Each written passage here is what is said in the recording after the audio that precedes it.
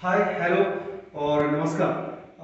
आज मैं दो तीन चीज़ें करने जा रहा हूँ। सबसे पहले प्री वर्कआउट हम वार्म अप करते हैं लाइट वार्म अप बोलते हैं उसे, और उसके बाद में हम रनिंग शुरू करते हैं, यानी कि अपना वर्कआउट करते हैं। वर्कआउट सेशन जो होता है देन पोस्ट वर्कआउट और फिर कुछ डायनेमिक स्ट्रेंथनिंग और डायनेमिक स्ट्रेचिंग आपको बताऊँगा।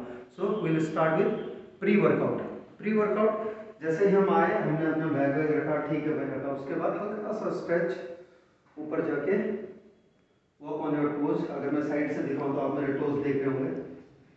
चार पाँच कदम साइड में चला। फिर इधर से आप मेरे स्टेप काउंट मत करना, आपको खुद करना है।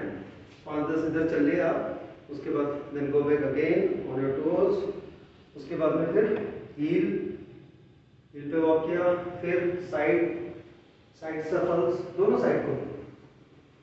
फिर हल्का सा बैक बैक हल्का सा, बिल्कुल धीरे धीरे ये कर लिया आपने ड्यूरेशन डिपेंड करता है आपको कितना स्टेप्स लेना है। 10 से 20 स्टेप्स बहुत होते हैं। उसके बाद में थोड़ा सा साइड बेंडिंग फिर, क्योंकि अभी आपने अपनी मसल्स को थोड़ा सा वार्म कर दिया गो डाउन ज़्यादा नहीं जाना इसमें, क्योंकि ये प्री वर्कआउट है। गो बैक अब हम क्या करेंगे? ये हमारा हो गया, ये कुछ एक्सरसाइजेज है। उसके बाद में अगर ज़्यादा हुआ है तो थोड़ा सा इसको twist one two twist one two twist twist ये आप एक साइड को चार से पाँच बार कर सकते हैं। ये किया, ये करने के बाद में हल्का सा ऊपर स्ट्रेच हल्का सा। ये और और ग्लूट्स एंड हैमस्ट्रिंग ये हो गया। ये then again now back back करते टाइम में आपका नी दोनों एक साथ होना चाहिए। ये हल्का सा। अभी मैं ज़्यादा नहीं कर रहा हूँ, क्योंकि ये प्री वर्कआउट है।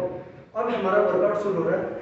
वर्कआउट शुरू करने के लिए पहले धीरे धीरे जॉग कर लो जॉग किया एटलीस्ट आपको थोड़ा थोड़ा धीरे जॉग करके एटलीस्ट आप 100 और 200 मीटर्स जॉग करके देन इंक्रीज योर स्पीड फिर उसके बाद धीरे धीरे स्पीड इंक्रीज करेंगे। और उसके बाद में then you come to your running so ये है आपका pre workout now coming to post workout आप थक के आ गए, आपने वर्कआउट कर लिया. वर्कआउट करने के बाद में क्या होगा? अभी आपका बॉडी में ज़्यादा है ज़्यादा आपका लचीलापन ज़्यादा आ गया है. Elasticity of muscles is increase now तो आप उसके बाद आए, उसके बाद आपने धीरे धीरे स्लो फ्रंट ट्विस्ट ठीक है, उसके बाद में ये एक्सरसाइजेस आप प्री वर्कआउट में भी शामिल कर सकते हैं, लेकिन उस टाइम स्पीड थोड़ा सा ज़्यादा करके आप कर सकते हैं कम। अभी साइड स्ट्रेच आपका क्वाड्रिसेप्स ठीक है?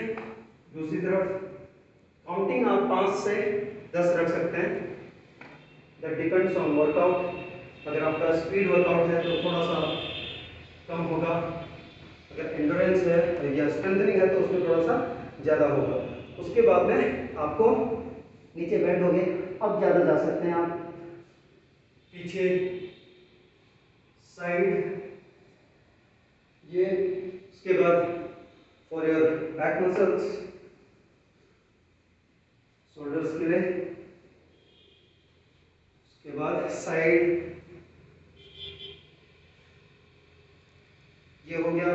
नाउ अब बैठ के फ्लोर पे चले जाइए। फ्लोर पे जाने के बाद में सबसे पहले shake your legs then go your elbows elbow में जाके आराम से रेस्ट करके शेक कीजिए अपना काफ और हैमस्ट्रिंग ये आपको रिलैक्स भी करेगा और साथ में आपकी मसल्स को रीजुवनेट भी करेगा। देन साइड में आपको बटरफ्लाई इसको ऐसे जितना ले जा सकते हैं। पहले ऐसे धीरे धीरे किया। आठ से दस बार, फिर इसको प्रेस करना है एल्बो से। यहाँ होल्ड करके और एल्बो से प्रेस कीजिए नीचे को, जितना कर सकते हैं। ये। और बैक स्ट्रेट। ये स्ट्रेट रखना आपको बैक। ये हो गया। Now change again relax change अभी दोनों को थोड़ा सा साइड में कर दीजिए। Now drop your knee knee drop करेंगे तो आपको साइड से आ रहा है। पूरा स्ट्रेच ये ये ये ये किया आपने दोनों तरफ़ पाँच पाँच बार कर लिया? उसके बाद में साइड में डायवर्सल नी कहते हैं, आप ऐसे करके इसको नी को चेस्ट के साथ लगा के और स्ट्रेट अपर बॉडी स्ट्रेट रहेगा। आपका जो आउटर hamstring और साथ में आपका ग्लूट से पूरा स्ट्रेच आएगा। इसको कीजिए नाउ चेंज योर लेग सामने देखना बिल्कुल। के ये आप तीन से पाँच बार ये स्ट्रेच भी कर सकते हैं।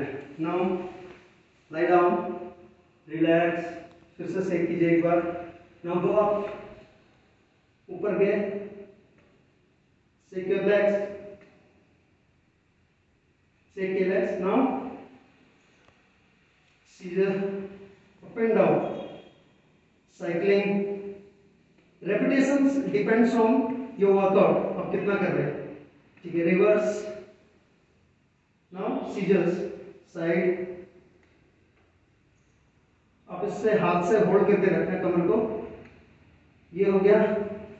Again come back and relax relax now go to front position यहाँ चलेंगे। यहाँ shake your legs same shake your calf के रोटेट कीजिए एंकल्स दोनों तरफ़ से ठीक नाउ कोबरा को यहाँ जाने के बाद में, इधर, ये, सीधा नीचे, ये तो स्ट्रेच करना है, थोड़ी देर वहाँ होल्ड करना है, ताकि आपका लोअर बैक और आपका चेस्ट पेक्टोरलिस मेजर इस मसल्स में आपका स्ट्रेच आ जाए। देन फ्रॉम हियर आराम से यहाँ वापस जाओ sit on your shin shin के ऊपर में आ गया अभी आपका पूरा बॉडी वेट इसको ड्रॉप करो नीचे। ये के पूरा नीचे, यहाँ से फिर इसको पकड़ के। आपको साथ में स्ट्रेच भी हो रहा है, आपका क्वाड्रिसेप्स और आपको रिलैक्स भी रिलैक्सेशन भी मिल रहा है। यहाँ आ गया। अब गो बैक जितना आप जा सकते हैं, जितना जा सकते हैं। ये के कैन कम बैक और उसके बाद जो लास्ट है वेरी इंपॉर्टेंट यहाँ से माउंट करना है बॉडी को। ये हो गया। और उसके बाद ये। आगे आना, धीरे धीरे धीरे धीरे धीरे धीरे धीरे। कोशिश कीजिए हाथ के बीच में लाने की। के ये आ गया आ गया आ गया। Now go up go up. Some more up.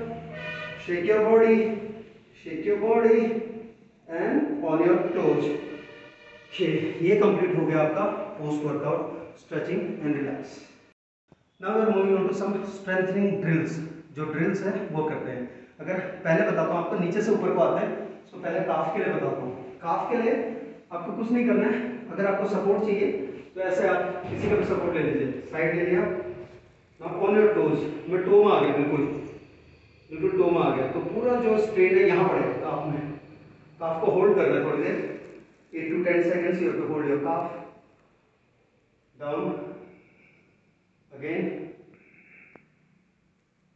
ये आपको जितना रेपिटेशंस आप करेंगे वो डिपेंड करता है एट टू टेन रेपिटेशंस और सेट्स आप दो से तीन कर सकते हैं। Same cheese you will do with weights अभी मैंने इसमें वेट डाले नहीं है तो आप इसमें वेट अपने अनुसार बढ़ा सकते हैं। No again go up down on your toes, down, up, down तो ये हो गया काफ के लिए। अब इसी के साथ में अगर हम स्प्लिटिंग करते हैं साइड से दिखा रहा हूँ आपको साइड व्यू ये स्प्लिट कर लिया हमने साइड में, आपका लेग्स के लिए और क्वाड्रिसेप्स के लिए, खास ये ठीक आप ये वेट्स के साथ भी कर सकते हैं और विदाउट वेट भी कर सकते हैं। Depends on your strengthening condition कैसे आपकी कंडीशन है। तो स्प्लिटिंग उसके बाद में वॉक कर सकते हैं। हम लंज वॉक के आगे से उठाना है। अगेन ये फिर सेम चीज़ आप बैक भी कर सकते हैं। के वर्किंग ऑन लोअर मसल खासकर हमारा क्वाड्रिसेप्स ये है आप इसके साथ में। और अगर आप देखेंगे, अब ट्विस्ट करना अगर नीचे को बैक के लिए और साथ में आपका लिए नीचे को बैंड आउट ठीक अप डाउन अप ये वेट्स आप बढ़ा सकते हैं।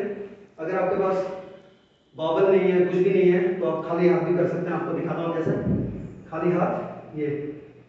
डाउन आपका पूरा खिंचाव इधर आएगा। ठीक है, नीचे जाना है, फिर ऊपर आना है। अगर आपके पास कोई भी वेट है, आप यहाँ ले सकते हैं। ये सेम चीज़। योर डंबल्स अगर आपके पास डंबल नहीं है घर में तो आप दोनों में बराबर वेट ले लीजिए हाथ में। वो बाल्टी भी हो सकती है। From here just go down yes one two three four repetitions आप पे डिपेंड करता है। अब दूसरा पैर अगर चेंज करेंगे साइड से दिखा रहा हूँ।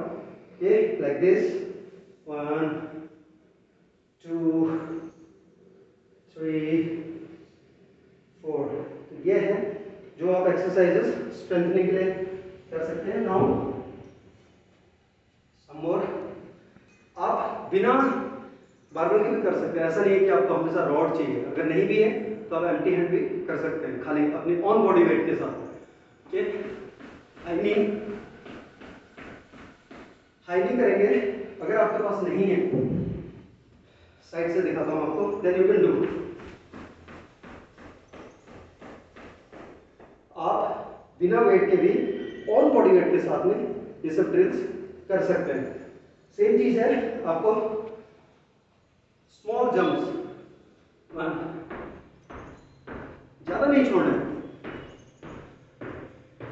okay double leg jump same back भी कर सकते हैं आप। No single leg jump okay right में कर रहा हूँ पहले use your hand